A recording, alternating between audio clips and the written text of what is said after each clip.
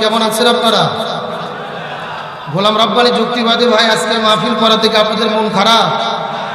আমি জানতে চাচ্ছি যে রাস্তায় যারা দাঁড়িয়ে আছেন, এরা কারা? আমি অনুরোধ করে বলব, আজকে গোলাম রব্বানি যুক্তিবাদী ভাইয়ের এই মাহফিলটা শুধু বগুড়ায় নয় তাম পৃথিবীর মানুষ এই মাহফিলটা দেখতেছে, আলহামদুলিল্লাহ আপনারা লক্ষ্য করে দেখছেন, শত শত মিডিয়া দুই চতুর্পাশে তারা লাগাইছেন। অসংখ্য লাইভ প্রোগ্রাম হচ্ছেন তাম পৃথিবীর মানুষ এই প্রোগ্রামটা দেখছেন। বগুড়ার মানুষ অত্যন্ত ভদ্র, সব দিক দিয়ে সৌন্দর্য, এটা পরিচিত হোক, আপনারা চান কি চান না। আমি অনুরোধ করে বলব, যারা দাঁড়িয়ে আছেন, আমি আপনাদের অনুরোধ করে বলব, সবাই একটু ভেতরে বসে পড়েন, যার সামনে যতটুকু জায়গা আছে, সবাই একটু সামনের দিকে চলে আসেন। সবাই সামনের দিকে চলে আসেন আর একসাথে জিকির করেন জোরে লা জোরে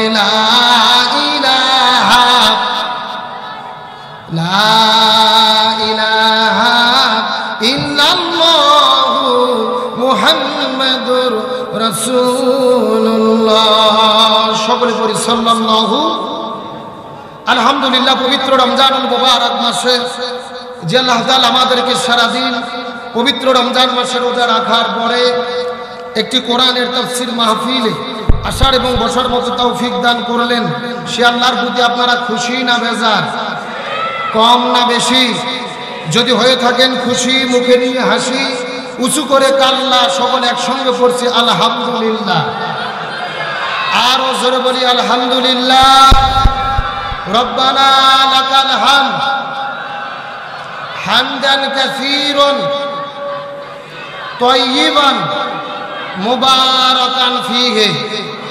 চিৎকার করে বলেন, আমরা প্রশংসা দেই করলাম কার? আরও জোরে বলেন কার? প্রশংসা পাওয়ার একমাত্র যোগ্য মালিককে ইবাদত করব কার? দাসত্ব করব কার? গোলামি করব কার? আইন মানব কার? প্রশংসা করলাম কার? লাভ হলো কার? আল্লাহ আপনাদের বগুড়া জেলার কোন লোক যদি আল্লাহর প্রশংসা আদায় না করে, আল্লাহর কি খুব বেশি ক্ষতি হয়ে যাবে? আল্লাহর পাওয়ার কমে যাবে? তাহলে চিৎকার করে বলেন, প্রশংসা আদায় করলে কার লাভ? আমাদের বলেন না বলেন আমার লাভ। জোর বলেন, কার লাভ? খুশি হয়ে চিৎকার করে বলতেছে, আলহামদুলিল্লাহ। সম্মানিত উপস্থিত হাজিরিন, মানুষ যত বসে আছেন, সাওয়ান ততটা মনে হচ্ছে না। সারাদিন রোজা থেকে আপনাদের কি খুবই কষ্ট হচ্ছে? রাগ করতেছেন? আমি কি একটু পরীক্ষা করব আপনাদেরকে? লিল্লাহে তাকবীর। হয় নাই কেবল ষাট পার্সেন্ট সাউন্ড হলো। এখনও চল্লিশ পার্সেন্ট বাকি আছে। সব একটু গলা কাকার দেন তো দেখে। লিল্লাহে তাকবীর। লিল্লাহে তাকবীর। যাকে এত করে বোঝা গেল গোলাম রব্বানি যুক্তিবাদী ভাইয়ের মাদ্রাসায় মাহফিল একটা হচ্ছে। আসেন, যেহেতু সময় কম, আজকে বক্তা বেশি, বক্তাদের আলোচনা শুরু হবে।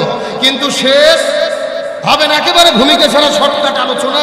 চিৎকার করে বলেন, আমরা কিসের মাহফিলে এসেছি? যারা কথা বলতেছে না, জোরে বলেন, কিসের মাহফিলে? কিন্তু বর্তমানে বাংলাদেশের যে পরিবেশ চলতেছে, এমন কিছু লোক আমাদের দেশের মধ্যে আছে যারা সব সহ্য করতে পারে, কিন্তু আল্লাহর কোরআনকে সহ্য করতে পারে না। এইরকম লোক আছে না নাই? বর্তমানে বাংলাদেশের বহুল প্রচলিত একটা রোগের নাম হলো অ্যালার্জি ব্যারাম। জোরে বলেন কি ব্যারাম? আর অ্যালার্জি ব্যারামের অন্যতম লক্ষণ হলো চুলকানি। জোরে বলেন কি? আরে ভাই, কথা না বললে তো আজ হবে না। খুব ভালো করে লক্ষ্য করে। যেই মানুষের শরীরে অ্যালার্জি ব্যারাম আছে এই লোকটাকে যদি আশি টাকা কেজি বেগুন, দুই টাকা বেগুন খাওয়ানো হয়, বেগুন খাওয়ার তিরিশ মিনিট পরে শরীরে চুলকানি শুরু হয়। ঠিক এত আসতে বললে ওয়াজ হবে না। জোরে বলেন ঠিক। আরও আসতে বলেন ঠিক। আরে ভাই, আশি টাকা কেজি বেগুন বাদ দেন সাতশো টাকা কেজি গরুর গোস্ত। দুই চাকা গরুর গোস্ত যদি এই রুগীকে খাওয়ানো হয়, পনেরো মিনিট পরে তার শরীরের মধ্যে চুলকানি শুরু হয়। আরে ভাই, গরুর গোস্ত তাও মানা যায়। ষোলোশো টাকা কেজি পদ্মার ইলিশ, এক চাকা ইলিশ যদি এই অ্যালার্জি রুগীকে খাওয়ানো হয়, পাঁচ মিনিট পরে শরীরের মধ্যে চুলকানি শুরু হয়। এ বগুড়ার মুসলমান গভীর মনোযোগ, শুধুমাত্র বেগুন, গরুর গোস্ত আর ইলিশ মাছ অ্যালার্জি নয়, বর্তমানে বাংলাদেশের মধ্যে এমন কিছু লোক বের হয়েছে, যাদের সামনে কোরআনের হক কথা বললে শরীরে চুলকানি শুরু হয়। আলে মোলামা দেখলে শরীরে চুলকানি শুরু হয়। তাফসির মাহফিল দেখলে শরীরে চুলকানি শুরু হয়। এই রকম লোক বগুড়া জেলার মধ্যে আছে না নাই? এখন আমি আপনাদের প্রশ্ন করতে চাই, এরকম অ্যালার্জি রোগী দুই চারজন যদি থাকে, তাহলেই কি আমরা কোরআনের হক কথা বলা বাদ দেব? কোরআনের সত্য কথা বলা বাদ দেব? সুতরাং কোরআনের মাহফিলে এসেছে কোরআনের হক কথা বলব। আমি প্রধান বক্তা, আমার মন গড়া কোনো বক্তব্য হবে না। সভাপতির মন মতো বক্তব্য হবে না। প্রধান অতিথির মন মতো বক্তব্য হবে না। বক্তব্য হবে কোরআন থেকে, রসুলের সুন্না থেকে। সুতরাং কোরআন সুন্নার হক কথা বলব, হক পথে চলবো। প্রয়োজনে কোরআনের কথা বলতে গিয়ে কোরআনের পথে চলতে গিয়ে, কোরআনের আন্দোলন করতে গিয়ে নিজের জীবনের সর্বোচ্চ বিলিয়ে দেব। তারপরেও বাতিলের কাছে মাথা নত করব না। তার আকারে রাজি আছেন? দুটি হাত আল্লাহকে তুলে দেখা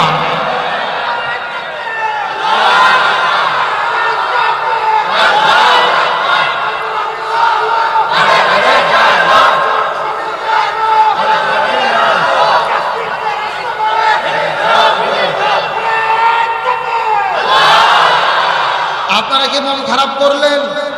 কষ্ট পাইলেন?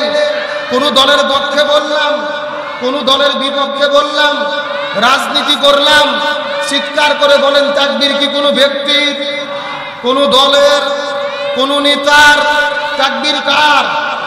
ওই আল্লাহ নিজেই কোরআনের মধ্যে বলেছে রব্বাকা ফাকাব্বি তোমরা আল্লাহর নামের তাকবীর দাও, সুতরাং তাকবীর দিতে হবে। হুকুম করেছেন কে?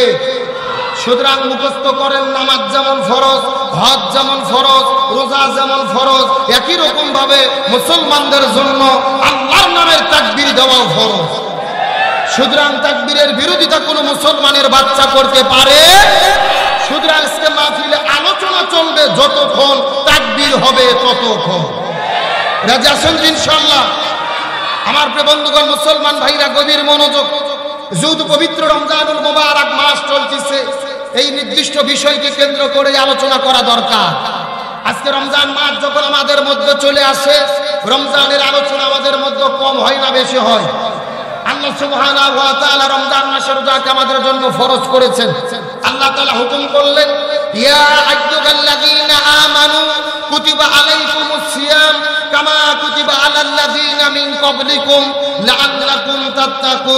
গভীর মনোযোগ আল্লাহ সর্বপ্রথম বলেছেন আল্লাহ ডাক দিয়েছেন বলেন কাদেরকে? ডাক দেওয়ার বললেন, কুতিবা আলাইকুমুস আমি তোমাদের উপর রমজান মাসের রোজাকে ফরজ করে দিলাম। তাহলে বলেন ইমানদারদের উপরে রোজাকে ফরজ করেছেন কে? এখন আমি বলতে চাই বগুড়ার মুসলমান চিৎকার করে বলেন, রোজা থাকে না, এই রকম দুই চারজন লোক বগুড়া জেলার নাই? জোরে বলেন নাই? বেয়া রোজাদার যদি না থাকবে আপনাদের গোদার পাড়া বাজারে লাল কাপড় পেঁচাইয়া দিয়ে খায় তারা। এ কথা বল না কেন হোটেল যান, সেলিম হোটেলে যান, বগুড়ার চতুর্পাশে এমন ভাবে লাল কাপড় ঘেরা করে দিয়ে মানুষেরা খাবার দাবার করতেছে। এটা মুসলমানের দেশ, এটা বিশ্বাস করতে লজ্জা হয় আচ্ছা আপনাদের কি মনে হয়? লাল কাপড় ঘিরে ওরই মধ্যে খালি আল্লাহর মনে হয় চোখে পড়ে না না? না আপনাদের কি মনে হয় চোখে পড়ে? খুব ভালো করে বুঝবেন, এমন লোক আমাদের দেশের মধ্যে আছে, সারা বছর পেটের মধ্যে গ্যাস জমা হয় না, রোজা আসলে পেটত গ্যাস হয় এ কথা কর না কেন হুজুরদের কাছে যে গল্প করে, হুজুর পেটত গ্যাস, হুজুর গ্যাস। কেরে তোর পেটত কত গ্যাস তো সরকার জমা দিলে কি হবে? এ কথা কম এরকম টাউট বাটপার আছে না নাই? গভীর মনোযোগ ভালো করে চেষ্টা করবেন। গতকালকে একটা ভিডিও দেখার পর আশ্চর্য হয়েছি। পুরো বিশ্ববাদ। সেই ঢাকা শহরের উদিরে মুন্সীগঞ্জের একজন বৃদ্ধা মহিলা, একশো বছর বয়স। এক নয়, দুই নয় সফিয়া খাতুন তার নাম।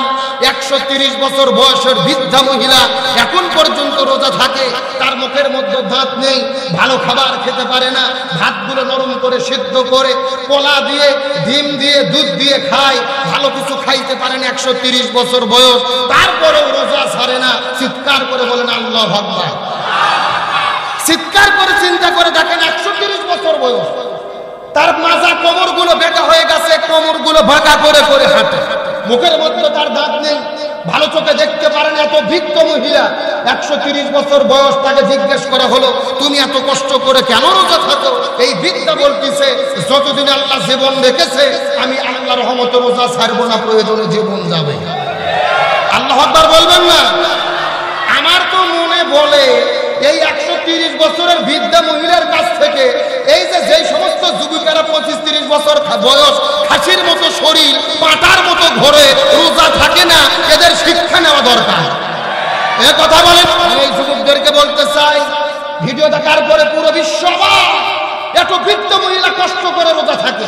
হে যুবক, তোমার পঁচিশ, তিরিশ বছর বয়স, তোমার দেহটা খাসির মতো তুমি এত স্বাস্থ্যবান, তারপরেও রোজা থাকো না, রোজার কত গুরুত্ব? আল্লাহ বলেন, একটা রোজা কেউ ইচ্ছা করে ছেড়ে দিলে লাগাতার ষাটটা রোজা থাকতে হবে। এই ষাটটা রোজা রাখতে গিয়ে রাখতে গিয়ে যদি একটা রোজা ভেঙে যায়, আবারও লাগাতার ষাটটা রোজা থাকতে হবে। তার মানে রোজার গুরুত্ব কম না বেশি। আরও জোরে বলেন, কম না বেশি।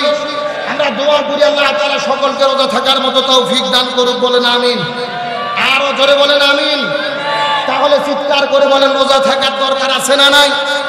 আজকে আমরা মুসলমানের বাচ্চা রোজার গুরুত্ব বুঝলাম না।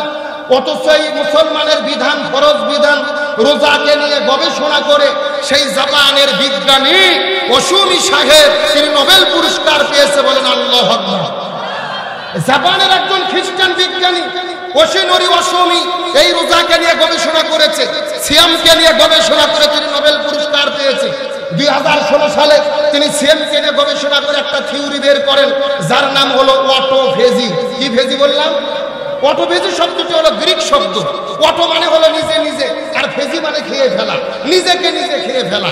এখন প্রশ্ন আসতে পারে, হুজুর, কোন মানুষকে নিজেকে নিজে কি খেয়ে ফেলতে পারে? বিষয়টি এমন নয়।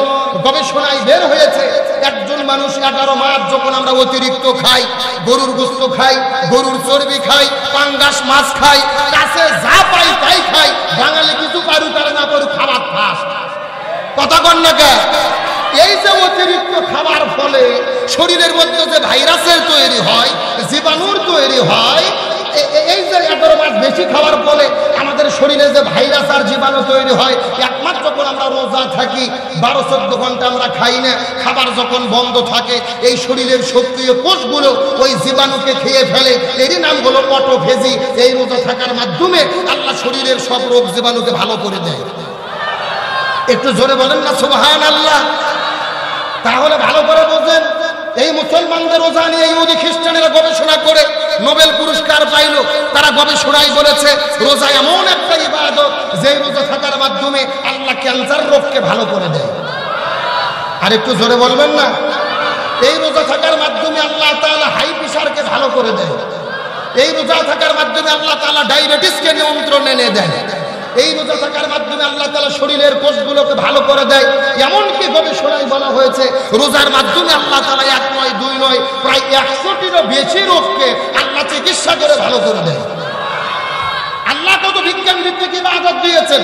সেই রোজা আমরা থাকি না, ওই রোজা থাকার দরকার আছে না নাই? তাহলে গভীর মনোযোগ আল্লাহ তাআলা বলেছেন ইয়া আইয়ুহাল্লাযীনা আমানু কুতিবা আলাইকুমুস সিয়াম। আমি রোজাকে ফরজ করেছি ইমানদারদের উপরে। তার মানে বোঝা গেল বগুড়া জেলার ভেতরে সুস্থ থাকার পরেও যারা রোজা থাকে না, মনে করবেন এদের ইমানের ভেতরে ভেজাল আছে। তাহলে যারা রোজা থাকে না, তারা হলো বেঈমান। যারা রোজা থাকে না, তারা কি? এ বলতে লজ্জা লাগে, জোরে বলেন, যারা রোজা থাকে না তারা কি? কোন ইমানদার ব্যক্তি রোজাকে ছাড়তে পারে গভীর মনোযোগ আল্লাহ তাআলা বললেন, রোজাকে ফরজ করলাম তোমাদের উপরে। যেমন করে তোমাদের পূর্ববর্তীদের উপরে ফরজ করেছিলাম। কারণ কি? লাল্লাকুম তাত্তাকুন। লাল্লা শব্দটি হরফে মুসাব্বাবেল ফেল। ইন্না আন্না কান্না লাইতা লাকিন্না লাআল্লাহ এই ছয়টা হরফে মুসাব্বাবেল ফেল দ্বারা আল্লাহ তাআলা নিশ্চয়তা প্রমাণ করে। আল্লাহ তাআলা বললেন, যদি হক আদায় করে রোজা থাকতে পারো, আশা করা যায় তোমরা মুত্তাকি হতে পারবে। মুত্তাকি মানে কার ভয়? আরও জোরে বলেন। আমার বন্ধুগণ, মুসলমান ভাইরা কবির মনোযোগ। আল্লাহ রাব্বুল আলামিন রমজান মাসের রোজাকে আমাদের জন্য ফরজ করে দিলেন, যাতে করে আমরা মুত্তাকি হতে পারি। মুত্তাকি শব্দের মূল শব্দ হলো খাউফুল্লাহ খাশিয়াতুল্লাহ। সব সময় থাকবে অন্তরের মধ্যে কার ভয়? আরও জোরে বলেন। এখন আমি আপনাদেরকে জিজ্ঞাসা করি, বলেন তো দেখি। এ বগুড়ার মুসলমান, আমরা আল্লাহকে ভয় করি, কি করি না? আরও জোরে বলেন, কারা কারা আল্লাহকে ভয় করে দুটি হাত আল্লাহকে তুলে দেখান। লিল্লাহকে দেখবে হে বগুড়ার মুসলমান, কথাগুলো সুন্দর করে বোঝার চেষ্টা করবেন। আমি যেই প্রশ্ন করি, উত্তর দেওয়ার চেষ্টা করবেন। হে বগুড়ার মুসলমান, চিৎকার করে বলেন তো দেখি। আপনাদের গ্রামের ভেতরে একটা গ্রামের মধ্যে মসজিদ আছে। ওই মসজিদের মধ্যে কমপক্ষে তিনশো মুসল্লি, অথচ ফজরের সময় দেখা যায়, মসজিদ যখন আজান দেয়, মসজিদ আর ইমাম সারা চারজন মুসল্লি নামাজ পড়ে আর পুরো গ্রামের লোক নামাজ পড়ে না। আর জোরে বলেন। কথাগুলো সুন্দর করে বোঝার চেষ্টা করবেন এই যে সেই লোকটা ফজরের নামাজ পড়ে না, মনে করেন এই লোকের বিরুদ্ধে আপনাদের বগুড়া সদর থানার মধ্যে হয়েছে মামলা। একটা মামলা হওয়ার পরে পরের দিন সকালবেলা, পরের দিন রাতের তিনটার দিকে পুলিশের গাড়ি বের হওয়ার পরে এরুলিয়া বাজারের মধ্যে ঢোকার পরে চকপাড়া গ্রামের মধ্যে আসতেছে। ওই এরুলিয়া বাজারের মধ্যে থেকে একজন ফোন করেছে টেলিফোনে যে গ্রামের মধ্যে কিন্তু পুলিশের গাড়ি ঢুকেছে। ওই যে সেই লোকটা, লোকের বিরুদ্ধে মামলা আছে। ওই লোকটা ফজরের আজান শোনার পরে মসজিদে যায় না। অথচ যে সময় শুনেছে পুলিশের গাড়ি ঢুকেছে, আমি আপনাদের জিজ্ঞেস করতে চাই, বগুড়ার মুসলমান, এই লোকটা ঘরের মধ্যে শুয়ে থেকে ঘুম পারবে নাকি ঝাড়িয়ে দৌড় মারবে? আরও জোরে বলেন।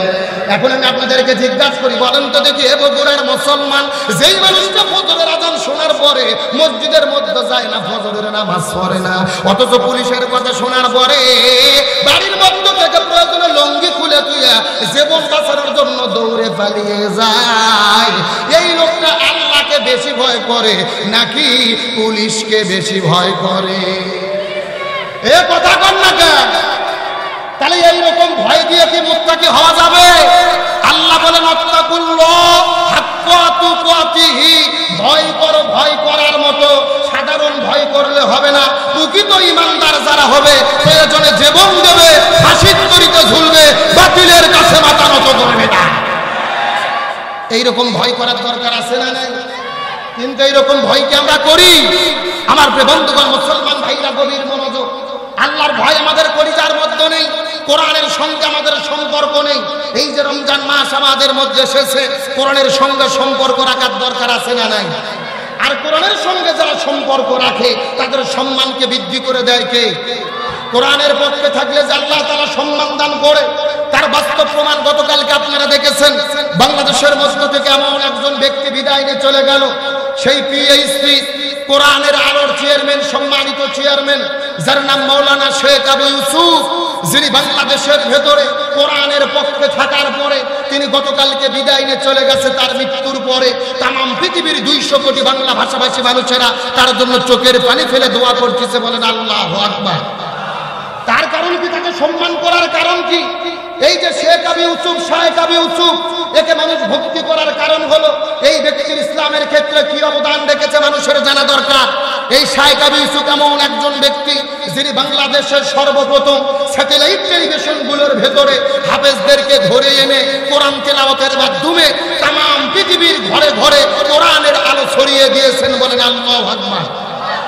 যিনি স্যাটেলাইট টেলিভিশনের মধ্যে হাফেজদেরকে ধরে এনে কোরআন কিরাতের মাধ্যমে কোরআনের আলোকে ছড়িয়ে দিয়েছেন, এই জায়গার মধ্যেই শেষ নয়। প্রত্যেকটা পিতা মাতাকে সন্তানকে হাফেজ করার জন্য উৎসাহ দিয়েছেন, এই জায়গার মধ্যেই শেষ নয়। এই বাংলার জমিনে হাফেজদেরকে তাম পৃথিবীতে প্রচার করে দিয়ে তিনি হাফেজদের সম্মানকে উজ্জ্বল করেছে বলেন আল্লাহ ভগবান আজকে ওই মানুষকে বিদায় নিয়ে চলে গেল। সারা জীবন কাটিয়ে দিয়েছে, আল্লাহ কোরআনের সম্মানে রমজান মাসেই তার বিদায় করল, আলহামদুলিল্লাহ বলে আর রমজান মাসে যেই লোকটা বিদায়ী হয়ে চলে যায়, এই সৌভাগ্যবান না দুর্ভাগ্যবান? রমজান মাসে বিদায় নেওয়া কেমন সৌভাগ্যবান? রসুল বলেছেন আবু দাউদ শরীফের হাদিসের ভেতরে, রমজান মাসের মধ্যে যে বিদায় নিয়ে চলে যায়, রমজানের ওসিলা করে আল্লাহ তাকে জান্নাতের মেহমান বানায় দেয়। এটা হলো জান্নাতি মৃত্যুর আলামত, সুবহানাল্লাহ বলেন আমরা দোয়া করি শেখ আবু ইউসুফের জন্য। আল্লাহ তাআলা যেন তার সারা জীবনের ভালো আমলগুলোকে কবুল করে বলেন আমিন। আল্লাহ যেন তার নামকে জান্নাতের খাতায় লিখে দেয় বলেন আমিন। আল্লাহ যেন তার কবরটাকে জান্নাতের টুকরা বানায় দেয় সকলে বলেন আমিন। তাহলে কোরআনের পক্ষে থাকলে সম্মান, আর কোরআনের বিরুদ্ধে গেলে কি সম্মান থাকে? একই দিনে মরে গেল ঢাকা বিশ্ববিদ্যালয়ের একজন অধ্যাপক জিয়া রহমান। এই শয়তান বলেছিল যে আসসালামু আলাইকুম। আর খোদা হাফেজ, আল্লাহ হাফেজ, এগুলো বলা হলো জঙ্গিবাদের ট্রেনিং দেওয়া। এ, নাউজুবিল্লাহ বলবেন না? এ, আসসালামু আলাইকুম কে বলেছে জঙ্গিবাদের ট্রেনিং এ, বিদায় নিয়ে চলে গেছে। আমি বলতে চাই, এই বাটপাড়ের জানাজা কোনো হুজুরের দ্বারা হবে না। এ, কথা বল না কেন বিসমিল্লাহর বিরুদ্ধে যে বলে, ইসলামের বিরুদ্ধে যে বলে, তার জানাজা কি হুজুরের দ্বারা হতে পারে। আমরাও বগুড়া শুধু নয়, বাংলাদেশের ঢাকা শহরের হুজুরের একদল হয়ে গেছি। ইসলামের বিরুদ্ধে যারা দাঁড়াবে, এদের জানাজা কোনো হুজুরের দ্বারা হবে না। আর আমরা যদি একদল হই ওরা কিছু করতে পারবে পারবে না তার বাস্তব প্রমাণ, গত চার বছর আগে বাংলাদেশের একজন সব্যসাচী কবি শামসুর রহমান, এই শয়তান মরার আগে বলেছিল যে, ফজরের যখন আজান দেয় ওনার ব্যবসা তার খরিদ্দারকে দেখতেছে জোরে বলেন, নাউজুবিল্লাহ। এ মরে যাওয়ার পরে আমরা ঢাকা শহরে সবাই একদল হয়েছি আর জানাজা কেউ করব না। পুলিশ যে তাকে বড় মসজিদের ইমাম আগে বলে চলে গেছে। কিন্তু মসজিদ আছে, জোর করে ধরে নিচ্ছে, নামাজ পড়ানোর জন্য মসজিদ নামাজও পড়াইছে। নামাজ পড়ার পরে জিজ্ঞেস করলাম ভাই মসজিদ, তুমি নামাজ পড়াই না কেন?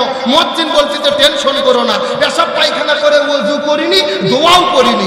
বিনে ওযুতে, বিনে দোয়াতে মার দিছি। তার কারণ হলো উস্তাদের মার এ জোরে কোন উস্তাদের মার তোমরা সারা জীবন হুজুরদেরকে জেলে বন্দি করবে, আলেমদের ঘাড় মটকে দেবা বিসমিল্লাহকে জঙ্গিবাদের চর্চা বলবা, আর তোমরা মরার পরে আমরা জানাজা পরে জান্নাত ঢুকে দেব, ওই ধান্দা বাদ জোর করে নিয়ে যাবেন নামাজ পড়ানোর জন্য, আল্লাহ আকবার বলে, চুপ করে থাকব, কোনো দোয়া করব না, ফাটা ফাটা। এ কথা বল। কোন ইসলাম বিদ্বেষীর দ্বারা আলেম ওলামা তাদের জানাজা পড়বে চিৎকার করে বলেন ভয় করতে হবে কাকে? আর জোরে বলেন এ বগুড়ার মুসলমান কবির মনোযোগ সময় যেহেতু কম। বেশিক্ষণ আপনাদেরকে ব্যাখ্যা দিতে পারব না, তবে মূল কথাটা বলার পর আপনাদের মধ্য থেকে বিধানে চলে যাব। আল্লাহর ভয় কাকে বলে? অর্ধ পৃথিবীর খলিফা, আমিরাল মুমিনিন, খলিফাতুল মুসলিমিন যখন অর্ধ পৃথিবীর খলিফা হয়ে গেলেন, এইরকম একদিন রমজান মাসে ঘর থেকে বের হওয়ার পর, গভীর রজনীতে ঘর থেকে বের হওয়ার পরে তার দেশের মধ্যে, রাজ্যের মধ্যে, গ্রামের মধ্যে ঘুরে ঘুরে বেড়ায়। গরিব দুঃখীদের খবর নেওয়ার জন্য এইরকম আমার ফারুক ঘুরতে ঘুরতে লক্ষ্য করে দেখতে পারে, একটা ঘরের মধ্যে থাকে দুইজন মহিলার কণ্ঠে সাউন্ড পাওয়া যায়। একজন হলো বৃদ্ধ মহিলা আর একটা হলো যুবতী মেয়ে। এই বৃদ্ধ মহিলাটা যুবতী মেয়েটিকে ডাকতে বলে, মারে, প্রতিদিন দুধ দহন করার পরে বালতিটা ভরে যায়, আজকে কি দুধের বালতিটা ভরেছে নাকি? মেয়ে ডাকতে বলে, মা, প্রতিদিন দুধের বালতি ভরে। আজকে তো দুধের বালতি ভরে নাই। এখন আমি কি করব আপনার কাছে জানতে চাই? মা ডাকতে বলে মেয়ে রে দুধের বালতি যদি না ভরে, তাহলে তো বাজারে বিক্রি করতে গেলে দাম কম হবে। দুধের বালতিটা ভরতে হবে। এখন তোমাদের কাছে যে এই কথা বলি, মনোযোগ দিয়ে শুনে না ওরে মেয়ে রে ওই দুধটা বিক্রি করার আগে ওই বালতির দুধের ভেতরে তুমি কিছু পানি ঢুকাইয়া দাও। জোরকম সুবহান আল্লাহ কি? এ জোরকম নাউজুবিল্লাহ। আচ্ছা বলেন তো, দুধের মধ্যে পানি ঢুকালে দুধ আসল থাকে না নকল হয়? আরও জোরে বলেন। এইরকম নকল ব্যবসায়ী বাংলাদেশে আছে না নাই? বর্তমানে বাংলাদেশের সবচাইতে বড় নকল ব্যবসায়ী হলো তরমুজের ব্যবসায়ী। এ কথা বল না এরা তরমুজ কেনে পিস ভাও আর বিক্রি করে কেজি ভাও। কি বগুড়ার কি খবর? কথা ঠিক কিনা? আমি তরমুজ ব্যবসায়ীদেরকে বলতে চাই, এই পৃথিবীতে সর্বপ্রথম কিন্তু তরমুজের ব্যবসা করছে ফেরাউন। এ কথা কন না কা ইতিহাস ভুলে গেলে চলবে না। এই ফিরাউনকে যখন তার মালিক তরমুজ বিক্রি করতে দিত, ও কিন্তু পিস ভাও আর বিক্রি করত কেজি ভাও। আজকে বাংলাদেশের একই অবস্থা, যেই তরমুজ একশো টাকা পিস কিনে একশো টাকা, হাজার টাকা পিস বিক্রি করে। আরও ধরে বলেন। আমি তরমুজ ব্যবসায়িকদেরকে বলতে চাই, ফেরাউনের সঙ্গে আপনাদের তুলনা করলাম মন খারাপ করবেন না।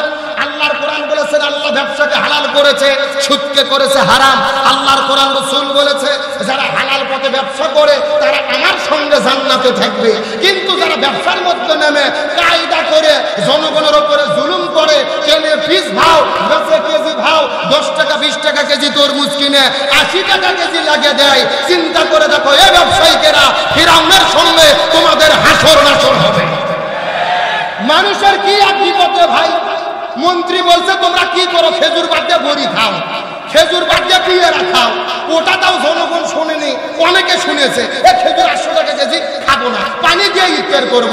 কিন্তু মানুষের মনে বড় কষ্ট, সারাদিন রোজা থেকে একটু তরমুজ খেতে মন চায় চাই কি চাই না? এখন তরমুজের যে দাম খাওয়া তো দূরের কথা, শুনতে গেলে হয় দশ টাকা কেজি ওদেরকে দিতে হবে। কথা কন না এই জন্য তরমুজ ব্যবসায়ীদেরকে বলব, ভালো করে ব্যবসা করেন, জনগণের উপরে জুলুম করেন না, আল্লাহর কাছে জবাবদিহি করতে হবে। আর ফিরাউনের সঙ্গে হাসর নাসর হলে জান্নাত না জাহান্নাম? তাহলে চিৎকার করে বলেন, কোরআনের পক্ষে থাকার দরকার আছে না নাই? কোরআনের হক কথা বলার দরকার আছে না নাই? এই যে রমজান মাস চলতেছে, তারপরে সূর্য ঘুষকি বন্ধ হয়েছে, না চলতেছে? রসুল বলেছেন, হাদিস শরীফের ভেতরে রমজান মাস যখন আছে, শয়তানকে আল্লাহ ছেকল দিয়ে বন্দি করে। এই হাদিস শুনছেন না? এখন শয়তান তো ছিকুল দিয়ে বন্দি। সুদকুর সুদ চালিয়ে যাচ্ছে। বড় বড় সুদের ব্যবসা আরও জমজমাট। রোজার দিন গরিব মানুষ বিপদে, সুদের কারবার জমজমাট। ও আগে একশো টাকা, দশ টাকা সুদ খাইতো, রোজা আসলে বিশ টাকা লাগাছে। এ কথা কর আর যে ঘুষ খায় আবার ডাইরেক্ট টাকা খাচ্ছে না। বলছি তো টাকা একটু ধোঁয়ের মধ্যে রেখে যাও, আমি মাগরিবের ইফতারের পরে গণনা করে নেব। এরকম ব্যাপার আছে না নাই? তাহলে কি বোঝা গেল? শয়তানকে বন্ধ করছে, কিন্তু বন্ধ করার পরেও যারা সুদ খাচ্ছে, ওই লোকটা যদি নিজেই শয়তান হয়। এ কথা কর না যাই ঘুষ খাচ্ছে তো নিজেই শয়তান। আর যারা বিশেষ করে বাংলার জমিনে ইফতার মাহফিল বন্ধ করে দিচ্ছে, তারা হলো বড় শয়তানের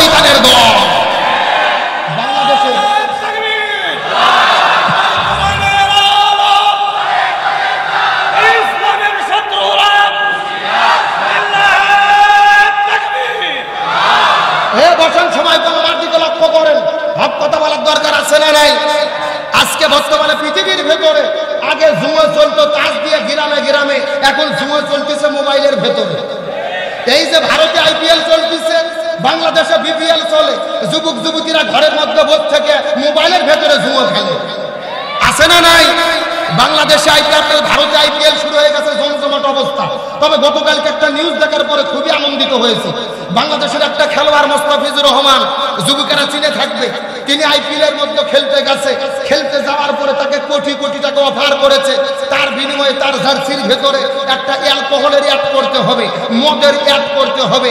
এই মুস্তাফিজুর রহমান বাংলাদেশের মুসলমানের সন্তান, ও বলেছে, আমি প্রয়োজনে খেলা বাদ দেব, তারপরও মদের প্রচার করব।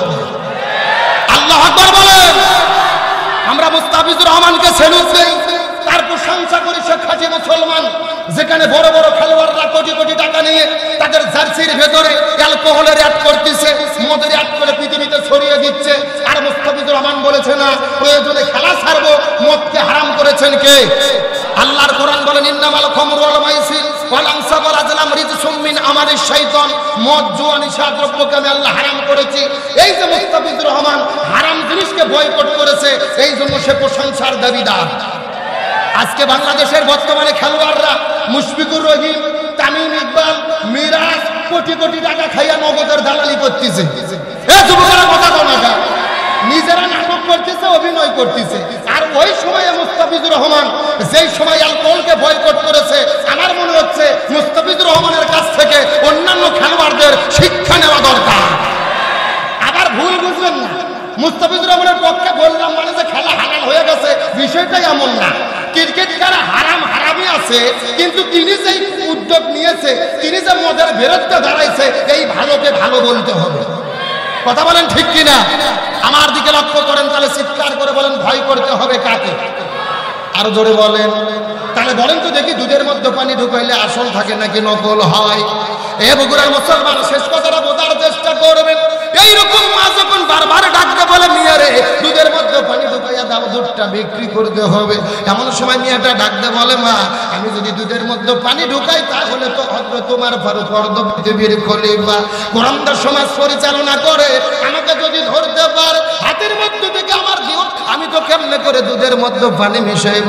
এমন সময় মা ডাকতে বলে, মেয়ে এই গভীর রজনীতে দুধের মধ্যে যদি পানি ঢুকানো হয়, কেউ দেখতে পারবে না। তোমার খোঁজ পাবে না। এমন সময় মেয়েটি ডাকতে বলে, মা গো, এই গভীর রজনীতে আমি যদি দুধের মধ্যে পানি ঢুকাইয়া দেই, কেউ দেখতে পারবে না। কিন্তু গভীর রজনীতে যিনি দেখতে পারবেন, তিনি হলেন আমার আল্লাহ।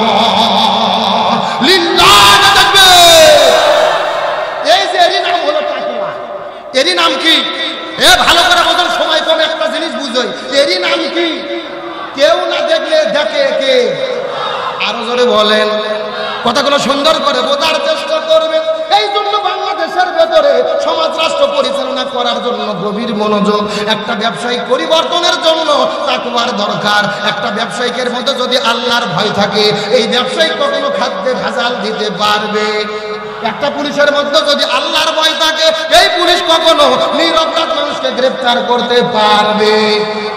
লীল লাগে লিল্লাহে লিল্লাহে তাকবীর রুল আমিন যুক্তিবাদী সাহেবের আগমন। মাহফিলের পক্ষ থেকে, এলাকাবাসীর পক্ষ থেকে, যুব সমাজের পক্ষ থেকে লিল্লাহে তাকবীর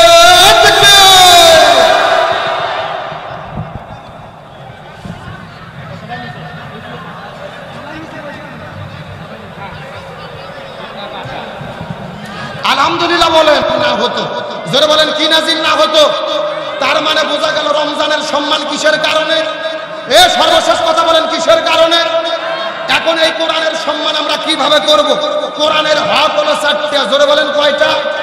এক নম্বর কোরআন পড়তে হবে, দুই নম্বর কোরআন বুঝতে হবে, তিন নম্বর কোরআন নিজে আমল করতে হবে, চার নম্বর কোরআনের আইন সমাজে বাস্তবায়ন করতে হবে। জোরে বলেন, কোরআনের হক কয়টা?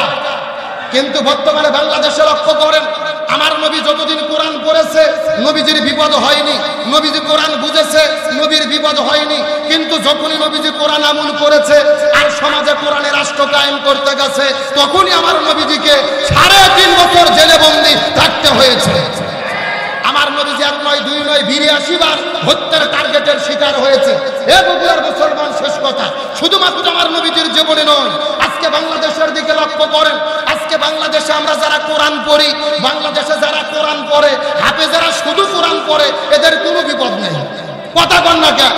হাজার হাজার কৌমি মাদ্রাসা, লক্ষ লক্ষ হাফেজেরা কোরআন পড়তেছে, কোনো বিপদ নাই। কোরআন নিজে নিজে যখন বোঝে, কোনো বিপদ নাই। কিন্তু বাংলাদেশে বিপদে আছে কারা? যারা কোরআন নিজে আমল করেছে আর সমাজে কোরআন প্রতিষ্ঠার আন্দোলন করতে গেছে। আজকে আল্লামা সাইদি আল্লামা মামুনুল হক, মুফতি আমির হামজা, এদের কি অপরাধ? আল্লামা সাইদি যতদিন কোরআন পড়েছে, আল্লামা সাইদির বিপদ হয়নি। আল্লামা সাইদি যতদিন কোরআন বুঝেছে, আল্লামা সাইদির ততদিন বিপদ হয়নি। কিন্তু আল্লামা সাইদি যখন বলেছে, আমি কোরআন নিজে আমল করব, এই বাংলাদেশে কোরআনের আইন বাস্তবায়ন করব, তখনই আল্লামা সাইদিকে তেরো বছর জেলে বন্দি রেখে বিনা চিকিৎসায় পরিকল্পিতভাবে হত্যা করা হয়েছে।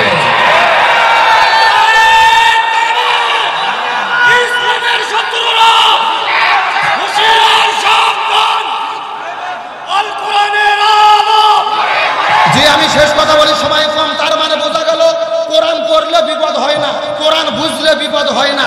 কোরআন আমুল করতে গেলে বিপদ হয়, আর কোরআন প্রতিষ্ঠার আন্দোলন করতে গেলে বিপদ এ কথা বল না কেন? আজকে বাংলাদেশে যারা কোরআন পড়ার দলে, এদের কোনো বিপদ নাই। যারা কোরআন বোঝার দলে, এদের কোনো বিপদ নাই। যারাই বলতেছে, কোরআনের আইন চাই, সৎ লোকের শাসন চাই, ওরাই খাঁচার ভেতরে বন্দি। এখন আমি শেষ কথা বলতে বগুড়ার মুসলমান কোরআনের চারটে হক আদায় করতে গিয়ে আমাদের যদি জেলে যেতে হয়, রাজি আছেন? আমাদের যদি সর্বাত্মক ত্যাগ স্বীকার করতে হয়, রাজি আছেন? সুতরাং রমজান মাসে শপথ গ্রহণ করব, কোরআন পড়ব, কোরআন বুঝব, কোরআন দিয়ে জীবন গড়ব, কোরআন পড়ব, কোরআন বুঝব, কোরআনের আমল করব, এই সমাজে কোরআন প্রতিষ্ঠার আন্দোলন করব। কারা কারা রাজি আছেন যদি হাত আল্লাহকে তুলে দেখান? লিল্লাহে তাকবীর আল্লাহ তাআলা আজকের মাহফিলকে কবুল করুক বলেন, আমিন। বিশেষ করে আমাদের প্রিয় ভাই গোলাম রব্বানি যুক্তিবাদী ভাইয়ের জন্য দোয়া করব। আজকে যতগুলো আলেম এখানে এসেছেন তার সৌজন্যে, আমার অত্যন্ত কাছের আমার স্নেহভাজন ভালোবাসার মানুষ, আমার প্রিয় ভাই গোলাম রব্বানি যুক্তিবাদীর জন্য দোয়া করি। আপনাদেরই সন্তান আপনাদেরই জামাই, তিনি আজকে শুধু বাংলাদেশ নয় তাম পৃথিবীতে পরিচিত মুখ। আল্লাহ তালা গোলাম রব্বানি যুক্তিবাদী ভাইকে যেন আরও সম্মানিত করে বলেন, আমিন। এবং আমি আপনাদেরকে অনুরোধ করে বলব, যেহেতু আপনাদের এখানে মাদ্রাসাটা রয়েছে, মাদ্রাসার দিকে নেক নজর রাখবেন, মাদ্রাসাতে ছাত্র দেবেন, মাদ্রাসার দিকে সুদৃষ্টি রাখবেন, গোলাম রব্বানি যুক্তিবাদী ভাই কোটি কোটি টাকা মাদ্রাসায় দিতে পারবে। কিন্তু আপনাদের যদি সহযোগিতা না পাই, মাদ্রাসা চালানো যাবে না। অনুরোধ করে বলব, মাদ্রাসাকে মহাব্বত করবেন। এখানে যেন মাদ্রাসা প্রতিষ্ঠিত হয়েছে, যত কিলাত হয়, এলাকার মধ্যে রহমত নাজিল করে কে? এই মাদ্রাসার পক্ষে থাকার জন্য আপনাদের উদ্যত্ত আহ্বান জানিয়ে যেহেতু সময় কম, প্রথমেই বলেছি, আজকে এত পরিমাণ বক্তা যতগুলো বক্তা এই মাহফিলে আসবে এবং এসেছে, পাঁচ লাখ টাকা দিলেও কেউ জোগাড় করতে পারবে না কথা কর না গা। মানে মাগরিব থেকে শুরু করে সেরি পর্যন্ত যত বক্তা এখানে আসবে, কেউ দ্বিতীয় ওয়াজ করে না সব মাহফিলে প্রধান বক্তা। এখানে এসেছে গোলাম রব্বানি যুক্তিবাদী ভাইয়ের ভালোবাসায়। আপনারাও এসেছেন। আমরা এই জন্য বলি, আজকের আলোচনা শুরু হবে, কিন্তু শেষ হবে না। একই অবস্থা।